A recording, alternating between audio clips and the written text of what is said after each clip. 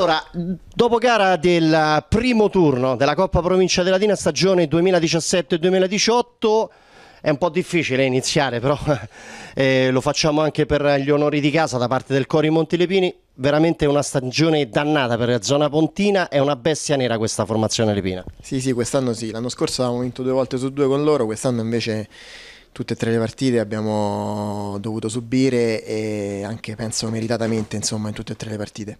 Quindi onore a loro che hanno meritatamente passato il turno hanno dimostrato di avere qualcosa in più di noi sicuramente. Allora mister eh, Di Cesare però tra le tre partite ci sembra che quella di questa sera sia stata un po' affrontata in tono minore rispetto alle altre due perché in campionato sì è vero c'è stata la battuta per 5 a 1 qui a Cori poi nella replica un 7 a 6 però voi voi se non altro avete dimostrato di, di poter riprendere la partita, questa sera un po' con un tono è mancato forse qualcosina in più.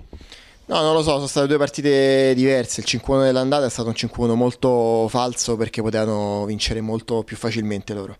E il 7-6 del ritorno è stata una partita molto strana e questa è stata una partita un po' più chiusa, un po' più bloccata anche perché comunque era un playoff, quindi sicuramente il primo tempo è stato tutto sommato equilibrato, loro hanno giocato meglio il pallone, eh, però noi abbiamo, avevamo comunque tenuto bene, avevamo rischiato poco. Eh, avevate tenuto bene e tra l'altro eravate molto incisivi per quanto riguardava le ripartenze che era il problema maggiore per loro. Sì, sì, sì.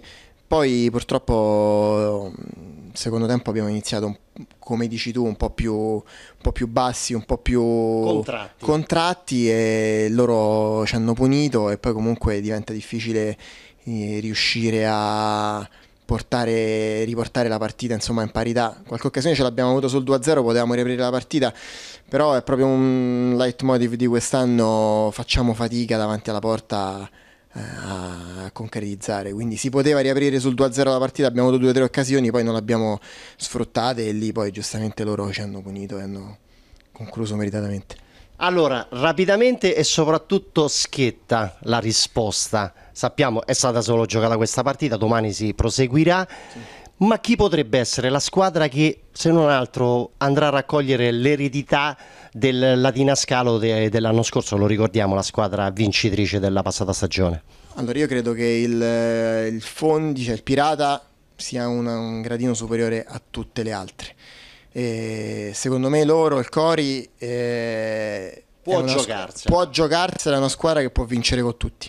Eh, però il favorito secondo me rimane il Pirata.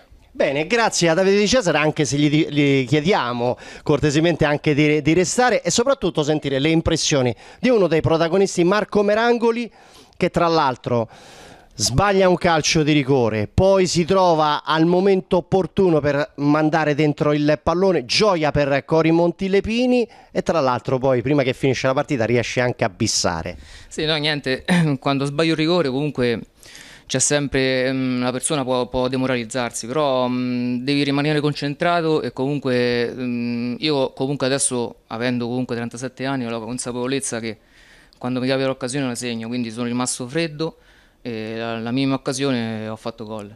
Berangoli, ma che, che, cosa si prova quando eh, si è sul dischetto del, del, calcio di rigore, proprio le distanze si accorciano rispetto a quelle del, del tiro libero, ma davanti che cosa si vede?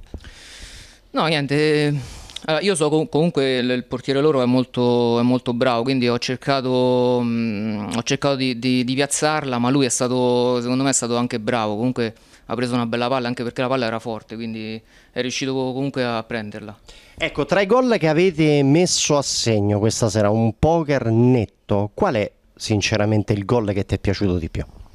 No, il gol che mi è piaciuto di più secondo me è stato quello di Edoardo perché il terzo, eh, cioè, è il primo gol di Edoardo perché comunque se lo merita. È un ragazzo che quest'anno ci ha, ci ha dato comunque una mano, ci fa, ci, fa, crescere sempre, sempre di più e noi, noi comunque siamo una squadra eh, una, una, bella squadra che deve diventare una, comunque una, un, cioè siamo un bel gruppo che deve diventare una bella squadra. Beh, lui questo lavoro lo ha iniziato diciamo tre anni fa, un po' in sordina, silenzioso, da dietro, eh, la rete era uno, un ragazzo che vi aiutava, un amico di squadra, un amico che vive con voi anche il resto delle, delle giornate fuori dal, dal campo, è un'importanza perché quest'anno eh, non possiamo dimenticare che più di qualcuno con la precisione in quattro avete praticamente varcato la soglia dei 20 gol. Sì, sì, sì, ehm, Edoardo, cioè, io ho accettato questa, questa proposta insomma, che mi ha fatto Edoardo insieme a Simone, Simone Rizzo e altri, insomma, i due o tre vecchietti della, della Grande assente questa sera per un guaio muscolare. Sì, eh, no, niente, in poche, parole, in poche parole siamo stati, cioè, quest'anno è stato veramente bello, io mi, sinceramente mi sono divertito molto e ho visto proprio che, che grazie a questi, a questi innesti che ci sono stati quest'anno, comunque il gruppo già c'era un grande gruppo e si è amalgamato ancora di più e, e, comunque speriamo di toglierci altre soddisfazioni. Beh, allora in termini di vecchietti facciamoci adesso una battuta finale, noi ne abbiamo un altro anche se lui scherzosamente accetta, te lo porteresti, gli, gli faresti questa proposta nel, nel, venire in questo contesto, anche se lui è di Latina insomma? Eh certo, perché no? tutti, siete tutti, potete venire tutti insomma. Bene, e su queste battute Finisce quindi la prima giornata, il primo turno, il primo turno Cori eh, Montilempini batte Zona Pontina 4 a 0.